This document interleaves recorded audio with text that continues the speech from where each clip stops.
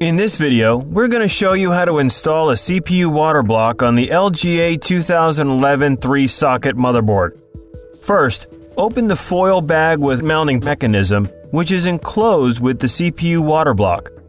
For this socket, you will require an LGA 2011 M4 thumb screws. It is recommended to remove the motherboard from the PC chassis before proceeding with this installation.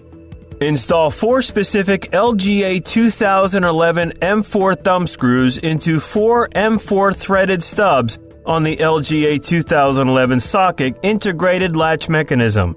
The screws are to be installed using no tools. If you had other CPU cooling solution before, you have to wipe the CPU's contact surface by using non-abrasive cloth or Q-tip. Take the enclosed thermal compound and apply it to the CPU heat spreader. The quantity of about 2 rice grains is just about right. There is no need to cover the whole IHS. Applying too much thermal grease will have negative impact on the cooling performance. Take the CPU water block and remove the sticker on the aluminum head. Align the water block over the mounting screws on the motherboard and CPU. Place an enclosed compression spring and thumb nut over each M4 thumb screw.